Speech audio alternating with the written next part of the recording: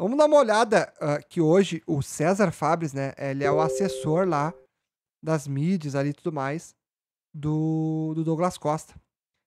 E eles têm detalhes de como foi a reunião com o Douglas Costa e também conta, né? Sobre o desejo de Douglas Costa de voltar ao Grêmio. Vamos ver o que, que ele falou sobre. Agora conta para nós, então, um pouquinho da, da reunião. E eu vou trazer isso aqui como um vídeo, tá? E antes que eu me esqueça, quer camisetas qualidade, que nem essa daqui, NTG Imports, tá? Com cupom NOTEG, você tem 5% de desconto, frete grátis para todo o Brasil. Lembrando, link no comentário fixado e no e na descrição também. Cara, o negócio é brabo lá, frete grátis para todo o Brasil, 5% de desconto para quem usar o cupom NOTEG. Ah, não achei a camisa do time que eu queria, ah, não achei o modelo tal. Vai lá e pergunta para eles, pede no WhatsApp, ou e-mail, ou Instagram. Tem lá no site deles que eles acham lá e conseguem para vocês qualquer camisa, beleza? Bora assistir isso aqui. Se tu puder contar, né, um pouquinho de como é que foi essa reunião lá em Shangri-La, do Douglas Costa, tu participou junto, né? Tá, tava lá. Eu e o Adriano tá aqui do meu lado aqui. O... Na verdade é o seguinte, o que eu fiz? Eu só fiz como gremista meio campo. Meio campo ali com o Guerra. Guerra não, acho que não vai se importar de eu falar também. Porque foi uma conversa bem informal, não falar de valores nem nada. Foi uma conversa, cara, foi bem isso aí, sabe? Ele explicou um pouco o que aconteceu lá no ano, ou como é que foi o, o ano dele nos Estados Unidos. Uh, mostrou que está afim ou não de voltar, ou que, qual é o plano para o futuro, porque o Flamengo também queria. Foi basicamente isso. Não, falando, não falamos em valores, de, de receber uhum. ou deixar de receber nem a dívida que o Grêmio tem. Tanto que foi um dos motivos que o próprio Guerra o presidente aceitou conversar com ele, porque, uhum. pô. É, até ele brincou, assim, pô, tô devendo 7 milhões pro cara. Pô, não vou atender o cara. Tem que atender, tem que atender servir café pro cara. e, e, nisso aí, pra te ver como, como as histórias acabam não sendo contadas pro torcedor, né? Uh, e eu faço isso, todo mundo que me pergunta, cara, tu abriria mão de 40 milhões? O cara abriu mão. O cara, o cara poderia ganhar 40 milhões na Juventus sem fazer nada. Uhum. Do jeito que tava fazendo lá, se lesionando no banco, se lesionando no banco, entrando de vez em quando. Tava lá. Ele resolveu diminuir a metade do, do, do salário, de, um milhão e meio, de 3 milhões para 1 milhão e meio, e veio. Não recebeu, porque não atingiu as metas lá, uhum. tudo mais, não recebeu. E ele estava disposto mais uma vez a abrir mão de alguma quantia. E eu fico pensando, cara, mas será que eu aceitaria? Eu não aceitaria. Tu tá me devendo 4 milhões, meu amigo, eu quero meus 4 milhões. Claro. Como tu vai pagar, não sei. E ele, no dia que ele foi embora, ele foi muito parceiro. Ele falou, não, faz do jeito que o Grêmio conseguir pagar aí. Já que no... ele não ficou no Grêmio não... porque o Grêmio não quis, a direção não quis, que não tinha como pagar. Falava pra ele, cara, não tem como pagar. Eu não tenho como pagar, eu não tenho como anular esse contrato que eu tenho. Se eu ficar contigo, eu vou ter que pagar o teu dinheiro aqui, seja 800 mil mês. Que era o teto ali dele, era uhum. 800 mil.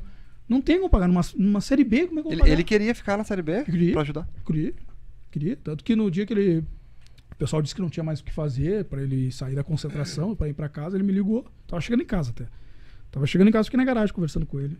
Daí, e aí eu dei o conselho para ele, mano, fala, cara. Fala, não precisa ser comigo, não tô, não tô querendo me promover, fala com quem tu quiser, cara.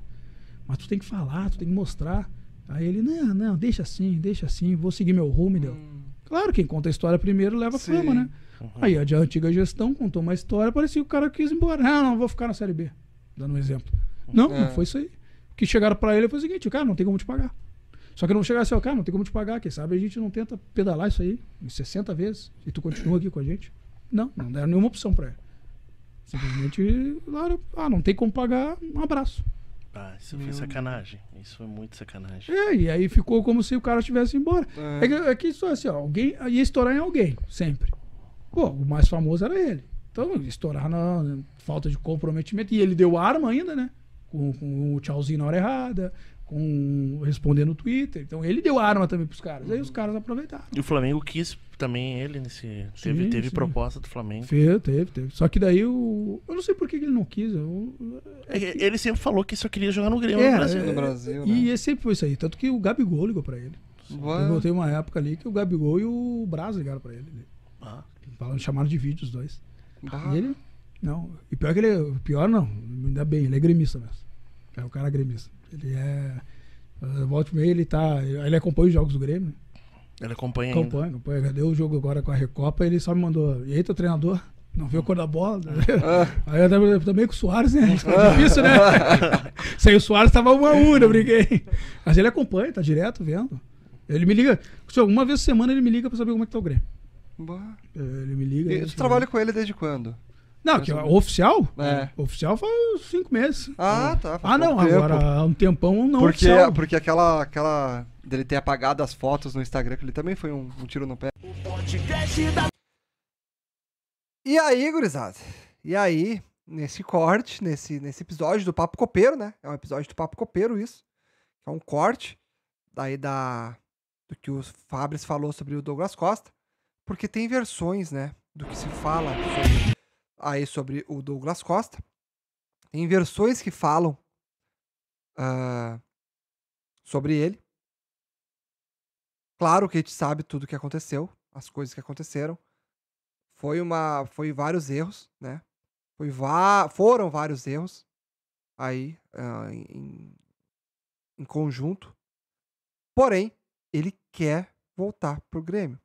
Deixa eu ver se eu, deixa eu ver se eu, eu consigo localizar sobre o retorno dele, tá? Eu acho que ele falou sobre o, re- acho não, ele falou. Quero ver se eu acho a parte que ele fala sobre o retorno do Douglas Costa este ano, tá?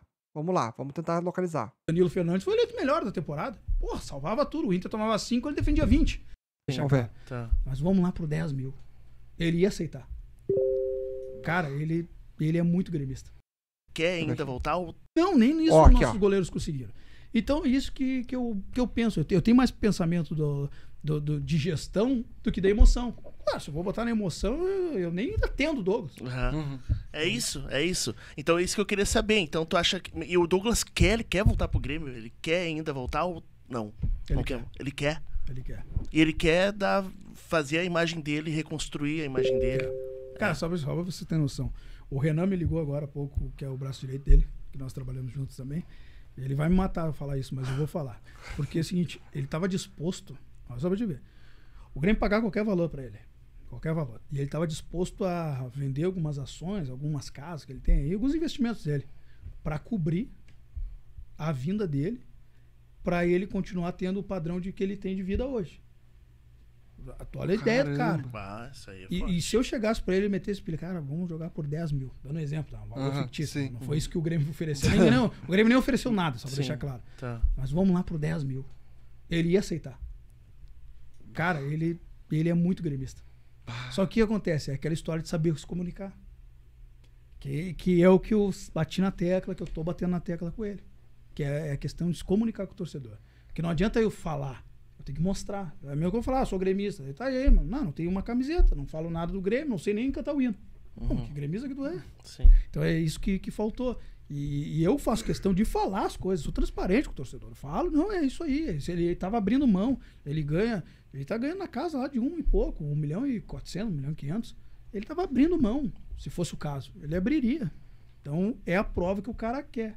Eu acho só o, o fato dele ir até o, o- o encontro do, do presidente e, e conversar, trocar uma ideia, acho que já foi um avanço. Ele entrar em, uma, em um dos maiores programas de, de rádio aí do Brasil e pedir desculpa pro torcedor é outro avanço. Porque esse jogador não está acostumado a, a- a ouvir não. Eu- e não importa, não, pode ser, não é porque os caras que trabalham comigo eu vou passar pano. vou- Não, não, não estão acostumados. Então é difícil. É, mas o Douglas Costa, né? Exato. É. Pô, tá louco. que ele vai dizer pra mim, ele pode me quebrar na hora. Você tá, beleza, Fábio, tu tem razão, beleza. Abre tua conta agora aí. Ah, eu vou abrir a minha agora, vamos ver. Desse jeito eu tô milionário, e tu? Ah, pois é. Uhum. Eu não. Poderia ir muito bem. Sim, sim. Mas ele não, baixou a crista e disse, bah, tem razão. Bah, tem razão. Não, é isso aí mesmo. Tanto que, pô, eu, eu, sou, eu fiquei feliz e quando ele me chamou pra gente fazer alguma coisa, porque, porra, eu não, eu não, sinceramente, eu não quero que seja igual o Ronaldinho. Ele saiu assim, Prim- né? é, Saiu. primeiro, Eu ele, fiquei triste, ele não é. tem a vida do Ronaldinho de ficar escondido. Escondido que eu digo ficar lá no sítio dele lá e tudo mais. Sim. Cara, a vida dele, ele gosta daquilo ali. O Douglas não é disso aí. O Douglas é mais urbano, ele é mais sair, ir no shopping. ir- é Bom, não é toa, o cara aqui do lado aqui diz que o Douglas vem aí. É, Ele é, Uhum. ele é assim. Sim. Então ele é uma pessoa que. E ele não é mascarado. Ele é uma pessoa que vem aqui, ele é envergonhado, sim, vai ficar mais na deles, mas ele não é. É uma pessoa que vai vir. Se vier, se eu falar assim, ó, eu vou, é de palavra, ele vai. O Diego Souza também é assim. Então, o- então isso que eu fiquei pensando, cara, ele não merece terminar assim. É isso que eu pensei, isso, ele não merece. É um cara que não merece, pela carreira dele e tudo mais, ele sempre mostrou carinho pelo Grêmio. Não é porque foi uma gestão horrível que nós vamos acabar com o cara. Não, Mas ele lembro- também fez por merecer. Eu Sim. também tenho outro lado. Ele fez por merecer. Sim, E a ele gente, tem noção disso. a gente tava assim, a tanta expectativa. Eu lembro até na tua entrevista com ele, ele fala: Não, Grêmio. Pô, cara, Aham. tudo isso a gente Ele tá. é muito gremista. Ele, né? cara, a É, gente. ele me fudeu, isso sim. eu, passei um mês chegando na arena, abriu a porta do elevador, os, os caras torcedores, olha o Fábio, ah, Colorado! cara." E aí, Eu achava que tu era colorado com a Todo disso. mundo achou. né? Mas pior que foi uma brincadeira. Cara, aquele dia, a antiga assessoria dele resolveu fazer em um dia só toda, todas as entrevistas. Cara, o cara, pra fazer uma entrevista é um parto. Imagina ele fazer seis no dia. Bah. Aí eu peguei e falei, vai dar merda. Mas enfim, gurizada, ele quer voltar pro Grêmio. E quando perguntado ali pro, pro César Fabres, cara, tem algum momento do, do, do episódio ali no Papo Copeiro que ele fala que o Douglas Costa quer voltar este ano ainda. Ele quer voltar este ano ainda pro Grêmio.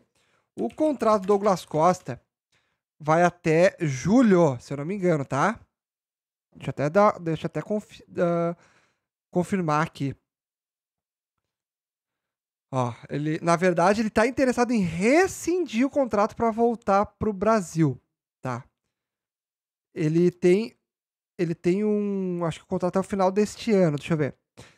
Ó, o Grêmio, o clube pelo qual Douglas Costa atuou em 2021, tá? O Fabres, ele confirmou novamente que o atleta tem o desejo de retornar ao clube gaúcho para refazer a sua imagem. Tudo depende do Grêmio e do Renato Portaluppi. O Renato que gostaria de jogar, de treinar novamente aí.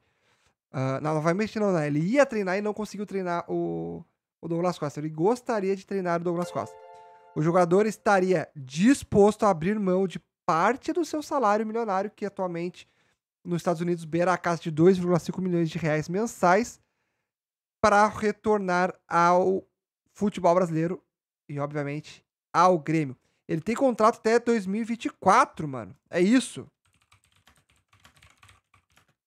Até 2024 e ele estaria disposto a rescindir para voltar este ano. É isso. É isso.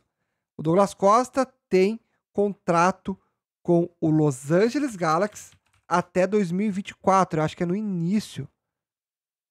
Deixa eu até ver. Até 2024, é isso mesmo. E aí ele estaria interessado em rescindir o seu contrato para voltar pro Grêmio, para fazer aí novamente, né, mano, tentar reconciliar aí, se reconciliar com a torcida e com o próprio Grêmio. Acredito que até o final de 2023, então eles falam 2024 porque eu acho que é o início de 24, que é o final da temporada lá. Acredito que seja isso. Mas só para contextualizar, ele estaria disposto a rescindir, né?